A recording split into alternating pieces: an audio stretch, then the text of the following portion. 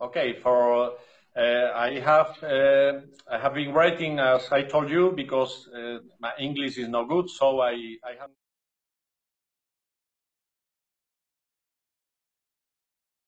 Well, my name is Javier Parra. Uh, I'm from uh, Sevilla, a beautiful city in south Spain, and I breed with the Los Tarantos affix from since 1993.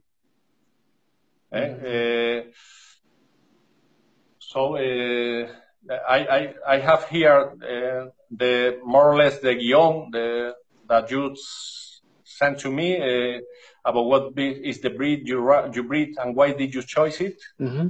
And well, I'm involved in the recovery of the Spanish Dogo for multiple reasons, but in summary, for the need to do justice to our, our autonomous cynologic heritage and for the extraordinary um, qualities of this type of dogs.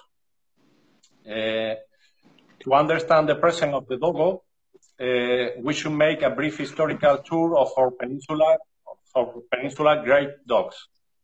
We all know that they had a great influence of the development of the most of the Molossian of the world. Uh, and if we trace the history and the DNA of breeds like English, Mastiff, Bulldogs, Dogo de Burdeos, etc., it would be easy to see how they all share a common track and verify with historical testimonies the influence that our prey dogs had on all of them. Therefore, on the other modern breeds, descendant of them, like Dog Argentino, Boxer, American Pit Bull, Bull Mastiff, American Bulldog, Cimarrón Uruguayo, Fila Brasileiros, etc.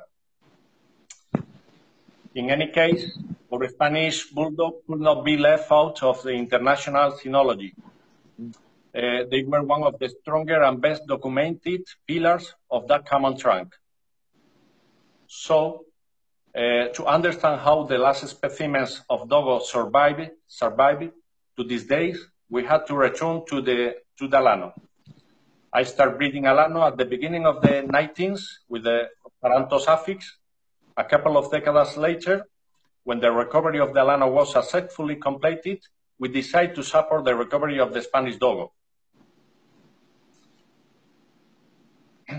Uh, we must remember that the nucleus of population discovery in the Encartaciones and the serves as basis for the recovery of the Spanish Alano was confused in its majority by dogs they're called presa or dogos, presa or chatos. And of more robust constitution and shorter bodies than the traditional Alano for hunt, were stronger than the than the typical Alanos for runner. You know? Yeah. So the recovery of the different types, uh, the recovery of the different types of prey dogs could have been possible in that period. In, on the one hand, the type lighter with a runner structure mentioned about the Spanish Alano, and in the other hand, the most stronger type, uh, Presa or Dogo. Uh, there was enough population uh, and historical records to, to be able to do it. However, it was decided to merge all this in a single project, the Spanish Alano, as a generic concept and more oriented to the cynegetic version, hunting version, lighter structure for long distance. Fortunately, as a result of the genetic strength and livestock origin of the project, uh, years later still appear dogs in the Dogo trans. The blue, the blue strain of the old Molossian of prey, although in the regressive phases, was still latent among our alanos. In this situation, we have two options. Let them to be gradually diluted as the Spanish alano was homogeneized hemotion, hemotionasis or save them for extinction. Obviously, we bat to save them. In 1944, the National Club of Breeders of Dogo Español was founded. However, for several years before this club was founded and the project was made public, there was a breeder, a Spanish Alano breeder in particular, especially committed to safeguarding, to safeguarding this typology. And not just talking about it, as we have all done until then, but working for this.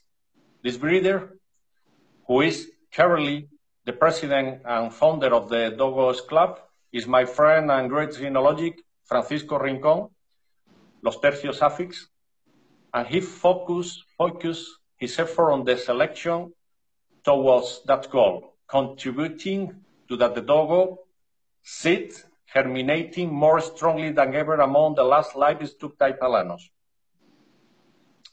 I don't know if you understand my English. Yeah. I, am yeah. trying. Yeah, yeah. So, uh, okay, some some specimens of this strand had also been born in my house, as in many of Alanos breeder a few years ago. Uh, so that when I knew Francisco purpose, I had no doubt in supporting his initiative and joined the project. I am currently part of the club's board of directors and member of the of its breeding committee. One year after the, the founding of the club, we present the breed and the project in the first symposium about autochthonous dogs breeds within the within the framework of the International Dog Show of Murcia, organized by the Real Sociedad Central Canina de España. Francisco Rincón and I were the speaker in this Congress, and from that moment, grew exponentially uh, the interest and support to the project of, of a great part of the national and international cynophilia. Uh, that same year, the breed is recognized by Alianz Canine Worldwide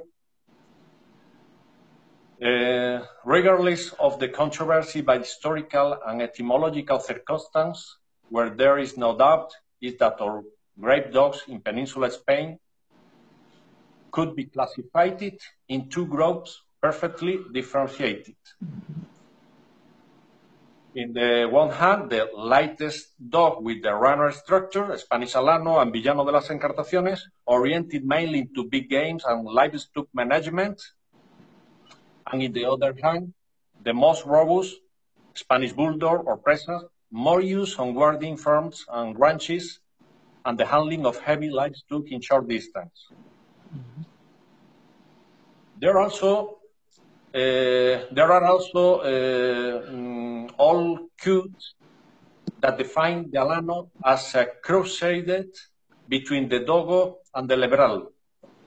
The cruising between Moloso and lighter dogs was always very common through history. It is enough to review the origin of breeds such as the American Pit Bull Terrier, Bulldogs by Terriers, Presa Canario, Molosses by Majorero, Fila Brasileiro, Dogos by Hounds, Dog Argentino, Prey Dogs by Hunting Dogs, Villano de las Encartaciones, Prey Dogs by Shepherd Dogs, etc. Within our most robust grip dogs, we also find different tendencies historically justified. On the one hand, there was hypertypic individuals of the bulldog type, too short muzzle, shorter structure, and medium or long height.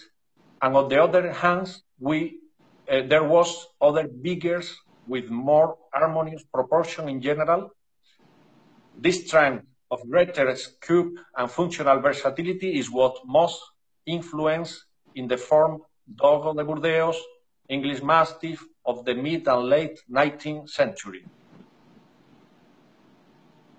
Those of us who form this pro-Dogo collective, we bet on the most rustic and functional version of a molosse of work able to move their kilos with solvency and with projection of future.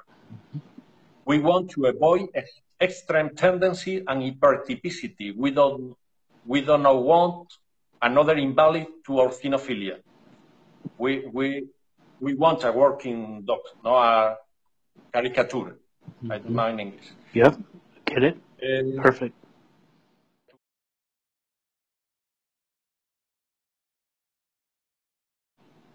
Okay, you, uh, you, you asked to me about the when I developed my, my passion for dogs. I can I can say that I learned I learned before to draw dogs than write. when when I was uh, a baby, you know. Uh, since I have memory, the animals in general and the dog world in particular form inseparable parts of my biography. I could not conceive my life without this hobby. Now, this part of my life completely.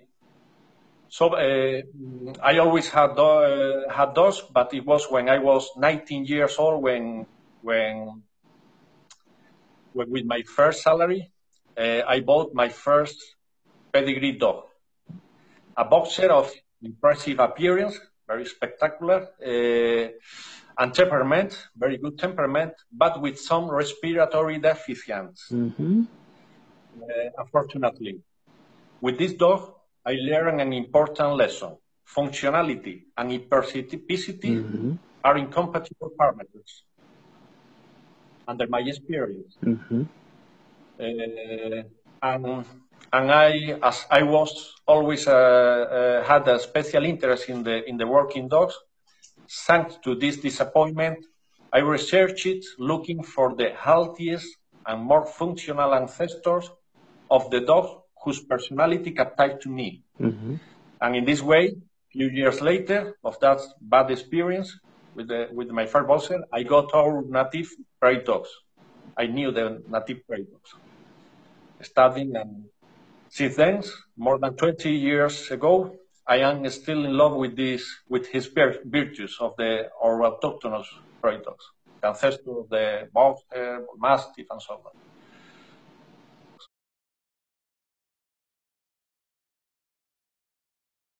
Uh, about my mentors, uh, like you asked to me before, uh, my mentors, teachers, and inspiration have been many, but as I cannot mention all, all of them, could be very long mm-hmm. this interview.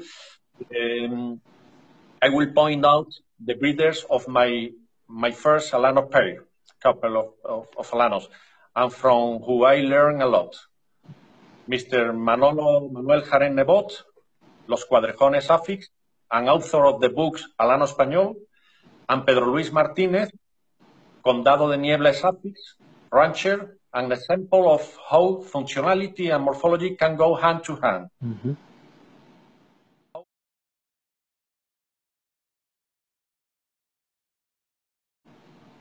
About the history of the Spanish bulldogs, uh, under my under my opinion, we could we could talk of its oldest history and also its most recent history from the 19th.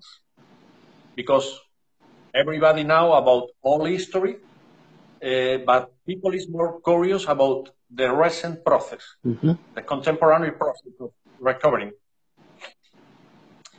When the team, uh, in this fact, when the team that was looking for the last descendant of Alanos discovered the encartaciones, in the encartaciones, the legitimate, the legitimate hearts of our Presa and Alanos, thanks to this, to this discovery population, Alanos and Dogo could be recovered. Regarding, regarding its oldest history, at the end of the, of the fourth century, if we go back, uh, at the end of the fourth, 14th century, the Alano the Alano occupied the largest areas of southern, southern Europe, including the Iberian Peninsula. The Alan tribus were accompanied by the dogs of prey that were mixed, mixed with the dogs brought to the peninsula by Phoenicians and Romans. This mixture gave rise to what later would be called presa or dog. Mm-hmm. Uh, his name is mainly due to his quality in the management and control of semi-wild cattle from the Iberian Peninsula. Later, the appearance of the bullfighting offered them a prominent role in the so-called suerte de perros al toro, bullfighting between bulls and dogs, until the beginning of the 20th century. That was forbidden, mm-hmm. like in England, like in many places. Mm-hmm. Uh, due, to its, due to its quality for defense, the dog was used as a war dog by the military of other nations particularly for the control of insurgents in the Americas, mm-hmm. where they have a very protagonistic role there. Mm-hmm. Uh, he was dog was like the like the police like the police dog, more or less, mm-hmm. uh, centuries ago.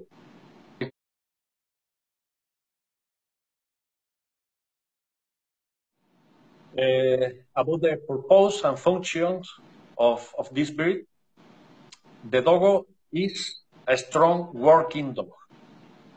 Must be continue being a strong working dog, rustic and functional.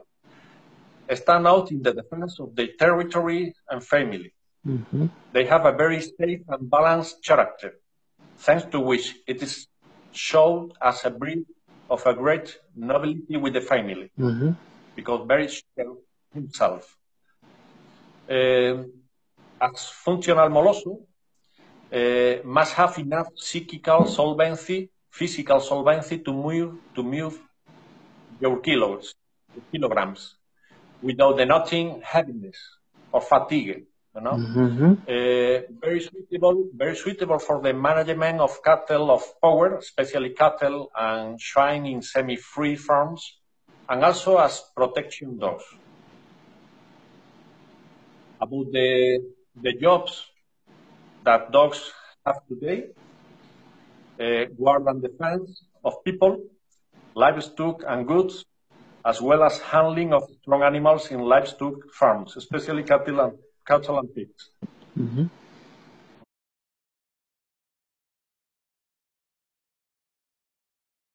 About the, the breed standard, uh, this time, the standard defines a prototype as an objective toward which to direct the selection in search of its own differential niche. We must to find a place between Spanish Alano, Presa Canario, the American. Uh, we are looking at a specific differential niche that mm. we we have it, but we must consolidate, you know. In this sense, important steps have been taken.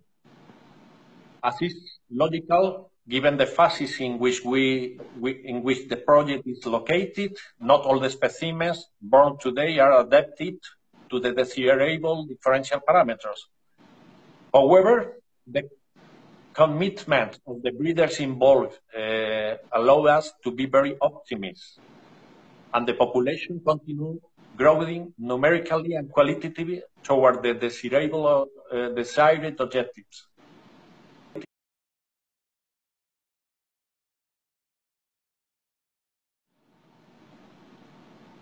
Uh, about um, my experience in the in the shows, uh, for me it has never been a priority to get titles. Now, but I understand that it helps to the international diffusion of the project and to the prestige of, of a breeder. And all that is like a synergy that helped uh, to the project. Years ago, I had a very active stage on the, in the diffusion of the Spanish Alano uh, when I was a Spanish Alano breeder, uh, as well as in its re reintroduction into traditional work media. Mm -hmm. For me, it was very important uh, that hunter, uh, cattlemen, now the, the Spanish Alano. Many, many people years ago didn't know the Alano. Eh? It was a very big effort to diffusion, writing articles, showing, and so on, documentals, TV, mm-hmm. and still Alano was consolidated. Um, uh, Okay, I breed, I breed uh, some of the most emblematic and influential specimen of this breed, mm-hmm. the Alanos, in the 90s, at the, the beginning of the century, mm-hmm. both functionally and morphologically. However, with the Dogo, we are getting more involved from doors to inside and in show in the in show dogs. Mm-hmm. Uh, we have participated in some in some congress and worked together with the president of the class, uh, uh, writing a book that can take years to see the light due to the large amount of documentation and reference that we are still receiving and processing. Mm-hmm. We are in the process of uh, writing a book, but will be very long. We are receiving even today, even today. Okay. When we thought that we know everything about the about the Alanos, Right. about the group, we continue receiving information, new information, you know, because there are many people involved in a study, investigation, and so on. Mm-hmm. Uh, so all that contents will be writing our future books. Mm-hmm. Um, okay. Uh, as for, for the presence of my dogs uh, in in the show dogs, uh, I have been fortunate to have the support of enthusiast friends, uh, such as Danielle and Annette from Norway, uh, who have take, taken care of covering this facet of divulgation, succeeding in converting one of my dogs born, born at home, Arturo de los Tarantos, Mm-hmm. in the most awarded dog of today, with the titles of Champion of Spain, Norway, Europe, and Eurasia Champion. Mm-hmm. I've been uh, thanks to, to friends that is covering that facet, face, that that uh, question. Uh,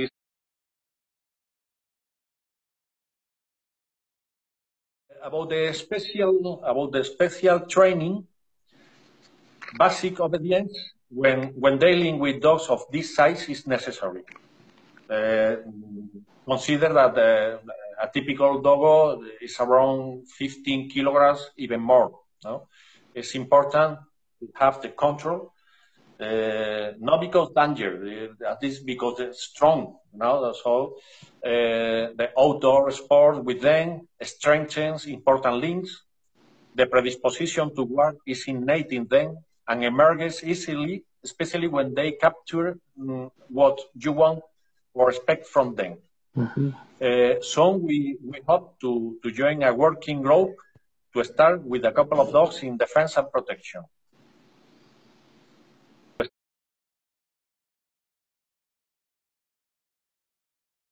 Um, about uh, mm, uh, the, the, the the, you asked to me about handle cold, hot weather, uh, uh, about resistance of the condition, uh, Mhm. the adaptability of the condition. Like a, like animals uh, or dogs resist cold better than hot. Mm-hmm. However, however, the environment that of hard work in which the last specimen of these dogs survived, as well as the climate of our country, they have made these dogs have a great rusticity and resistant to hostile living conditions. Mm-hmm. Now it's very, very resistant, more than almost Moloso classic of today. no? Mm-hmm. It's very rusty, very rusty, very rusty dog. Mm-hmm. Uh,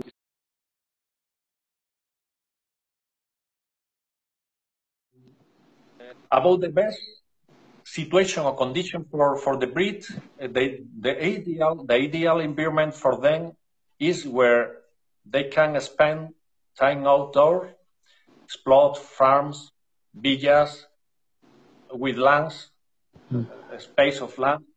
Also, it's true that uh, given their size and adaptability, they do not require the same level of activity as, uh, as other smaller breeds. Uh, this facilitates adaptation to smaller cities, sites, uh, provided they can enjoy out, outsitting where they can bend energy and least, at least a couple of times a day, a day or more. Okay. Uh, about uh, you asked to me about the condition of uh, if if they can live in in apartment or house with a small place. I, I think perfectly, provide they are allowed to go out two or three times a day for a wheel that allows them to bend the energy. Mm-hmm. Okay, it's not so important the place than the time you employ with them, the training, go out and so you know because normally they are calm. Mm-hmm. They can be sleeping every day, you know, until they need to work. When they need to work, they change completely and putting active mm-hmm. position, you know? Mm-hmm.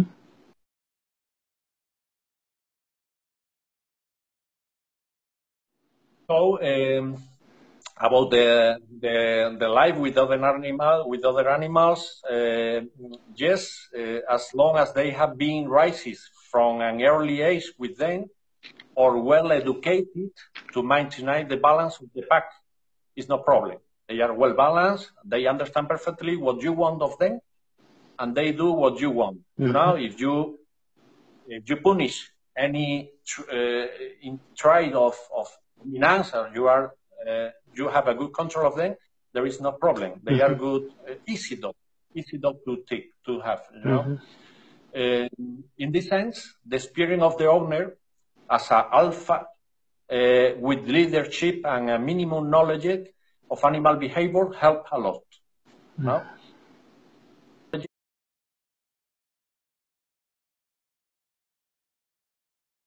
Uh, you asked a controversial question about uh, if you were to cross any uh, one of, of your dogs, what other breed would you use? Well, uh, if it were strictly necessary to make an outcrossing, I could look for a healthy and functional individual from a lineage contrasted, genetically related, and morphologically, morphologically close to the standard and objectives we have.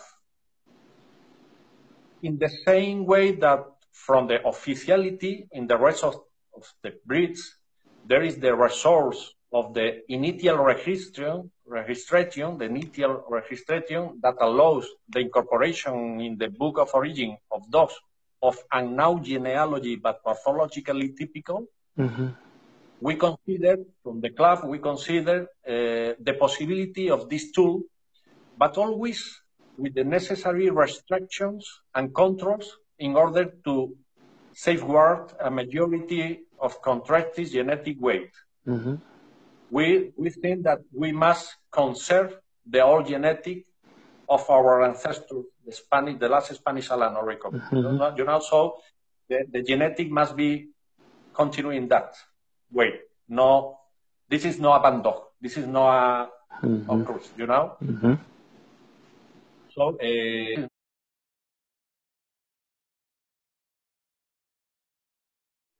uh, about uh, other breeds uh, that I have, uh, in which I have experience. I have experience in breeds like Spanish Alano, of course, many years, Presa Canario, Boxer, Bull Terrier, not only because uh, not necessary for breeding, but for training them. Okay, mm. so I am uh, a, a, great experience in the in the handling of that type of dogs. American Bulldog. I, I, I breed some some litter of American Bulldog year, years ago. Uh, Mastín Español, etc. Eh?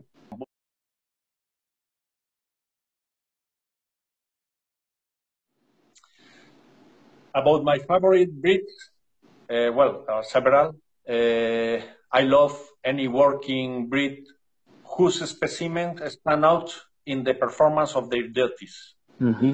Uh, but if I have to mention just a few, this would, of course, be the Spanish Alano, the Villano de las Encartaciones, Ca de Bou, and Presa Canario. Looking in, looking inside Spain, you know, because mm-hmm. Spain has been very, we arrived le- uh, very late to the modern concept of, of breeds and, and we must defend our, our product, you know. Uh, but the but when I told about the Presa Canario, I, I am referring the the old type of first standard in the 19, mm. in the in the 18th, in the 18th. Mm-hmm. Uh, the Presa Canario, the old Presa Canario was a very very rustic dog with enough with enough imprint of the Majorero less heavy than the current specimens, with shorter and rectilinear top line, with a lot of thrust from the from the rear train. I love those dogs. Mm-hmm. Uh, they were much closer to our peninsular presa than what we can see today in the shows. Right. I remember my first article when I read the first article in the 18th uh, about uh, Presa Canario was really, really, really great. The shorter, uh, rectilinear uh, top line. The, the, weight was around 15 kilograms, mm-hmm. uh, and today it's, it's, it's very different. Mm-hmm. I don't criticize the evolution they they have uh, had, but uh, uh, I like more the old type Mm-hmm. Presa Canaria. Mm-hmm. Uh,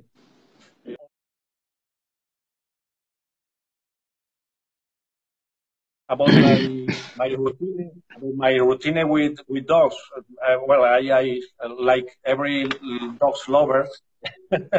I I share my free time between family and dogs, uh, trying to involve the family in many of the activity with dogs. Mm-hmm. You know, walks to the park, the field, games, training, and meeting with other enthusiast friends. This is our close, you know. Sometimes I I I miss to go to the theater, to go to the cinema, Yeah. but it's every every time every time with dogs. It's it's crazy. It's crazy. Mhm. But uh, probably you will understand to me. Yes. Well, Absolutely. about uh, yes. Mm-hmm. About my, my kennels, uh, well, I must to to explain that uh, until a couple of years ago, uh, I live in the countryside where I had a large and comfortable facilities for my dogs, but it was a cycle, a cycle that ends. Mm-hmm. Uh, now I, I have few dogs, uh, and we enjoy our, our animals from a different perspective. I live in a house in the outskirts of the city with a lot of countryside around, but it's a house. It's not a farm, you know. Mm-hmm. So I am I am limited. Mm-hmm. I am enjoying my dog from another perspective. Um, enough, enough to accommodate a trio of bulldogs uh, and planning a litter from time to time, but not like like before. Uh, my commitment to the breed is more moral, moral than physical support. Mhm. You know, uh, what we uh, what what we have lost in prolificity in breeding, we have gained in a closer bond with our animals, Mm-hmm. who are now more part of the family than ever. Mm-hmm. You know, uh, when you have many dogs, of course, it's impossible to have the same close relation with the, all, all your dogs. So I am enjoying from another perspective with less dog now, Mm-hmm. the more. And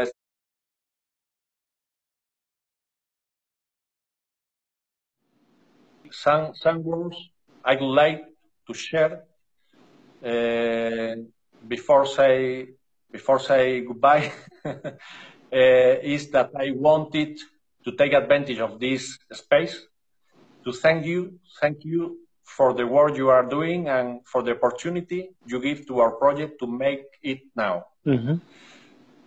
Uh, I say goodbye not, nothing that many of our breeds and ethnic groups, ethnic groups, uh, survived for decades, regardless of the officiality, thanks to its functionality, working from the anonymity in the most rural and deep Spain. Mm-hmm. While on the other hand, perhaps for snobbery or countryside supravalue everything that came from outside. Things changed. And since few decades ago, there has been a growing awareness to our, our tradition and breeds, fortunately. Mm-hmm. We arrived, we arrived late, but, but we arrive to state and we reclaim the place that correspond to us by history, by present, and by future. Share this interview as my particular tribute and gratitude to those cattlemen of the Encartaciones in whose environment the last descendant of the old Greek dogs were preserved, with the sufficient degree of purity and atavism so that today we can speak of Alanos, Villanos, and Dogo as a reality for the world is in cynophilia. Mm-hmm. That would be my my last word. Uh, that this is a, a thought current uh, mm, that we need to do with with our patrimonium, gene- uh, genetic patrimonium Mhm. here in Spain. Mm-hmm. This more or less the resume I have tried to explain. I don't know if you would understand to me Mhm. because uh, I have the opportunities to practice to practice my English, but I hope that some of the audience have understand something of uh, what I wanted to share with you. Yeah, yes, I think they, they definitely will, and I think it's very important that we're um, embarking on this because uh, you know uh, preservation of heritage to me is very important, and part of that heritage, in in my point of view, is is dogs, um, and I and I think uh, I really respect the traditions of Spain and and the dog breeds that come from Spain, and so um, I'm very happy that you decided to do this, uh, even though that uh, you know you, you it, it was a little nerve wracking, a little for you because uh, uh, of the language, but you did great, and